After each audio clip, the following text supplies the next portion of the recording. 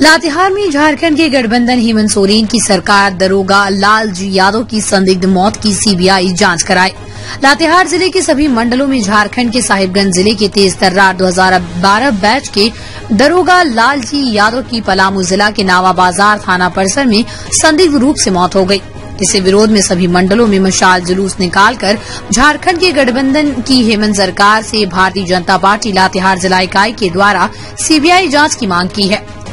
इतने में सरकार नहीं जागती है तो भाजपा उग्र आंदोलन करने के लिए बाध्य होगी। आगे बताते चले कि मनिका मंडल में भाजपा जिला अध्यक्ष और पूर्व विधायक श्री हरे कृष्ण सिंह बतौर मुख्य अतिथि के रूप में विशेष रूप से शामिल रहे। कार्यक्रम का नेतृत्व भाजपा मनिका मंडल अध्यक्ष श्री अजीत कुमार के द्वारा किया गया। वहीं समाप्ति की घोषणा मंडल महामंत्री मनदीप कुमार गुप्ता के द्वारा किया गया। मौके पर जिला स्थायी आमंत्रित सदस्य श्री रघुपाल सिंह, पश्चिमी जिला परिषद महेश सिंह, युवा मोर्चा जिला अध्यक्ष छोटू राजा, जिला सांसद प्रतिनिधि लव कुमार दुबे, मंडल सांसद प्रतिनिधि विश्वनाथ राय, एससी मोर्चा जिला अध्यक्ष बबन पासवान, जिला विशेष आमंत्रित सदस्य श्री शंकर दुबे, जिला सोशल मीडिया प्रभारी पंकज यादव, जिला मोर्चा के जिला उपाध्यक्ष सुमित यादव समेत जिला के पदाधिकारी जिला कार्य समिति सदस्य मंडल के पदाधिकारी, कार्य समिति सदस्य सभी मोर्चे के मंडल अध्यक्ष, पदाधिकारी, कार्य समिति सदस्य एवं भाजपा के सैकड़ों कार्यकर्ता मौजूद रहे। बद्री गुप्ता के साथ शिवशरण सिंह की रिपोर्ट।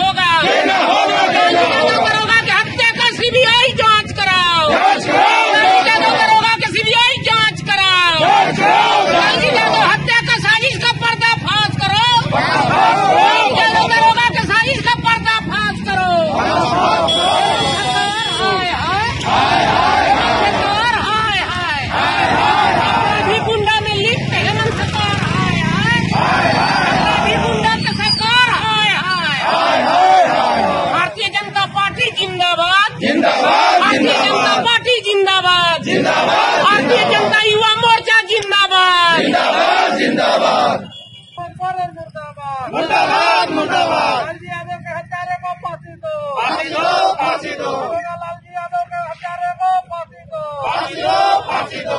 लालजी यादव के हत्या के खिलाफ सीबीआई जाँच करो। जाँच करो जाँच करो। भारत माता की। जय। भारत माता की। जय। वंदे मातरम। वंदे मातरम। भारत माता की। जय। हेमंत मुर्दाबाद। मुर्दाबाद मुर्दाबाद। हेमंत सोरेन मुर्दाबाद। मुर्दाबाद मुर्दाबाद। गठबंधन की सरकार हाय हाय। गठबंधन की सरकार हाय हाय। सोरेन मुर्दाबाद। मुर्दाबाद मुर्दाबाद। सोरेन मुर्दाबाद। मुर्दाबाद मुर्दाबाद। हेमंत सोरेन तेरी मनमानी नहीं चलेगी। नहीं चलेगी नहीं चलेगी। हेमंत सोरेन तेरी मनमानी नहीं चलेगी। नहीं चलेगी नहीं चलेगी। राज्य में अपराधियों को अंकुश लगाना होगा। राज्य में अपराधियों को बढ़ते कदम को अंकुश लगाना होगा। दमदार निर्माण का भरोसा, लाल स्टील टीएमटी बार्स हर निर्माण के लिए उपयोग, लाल स्टील टीएमटी बार्स रिश्ता, मजबूती का।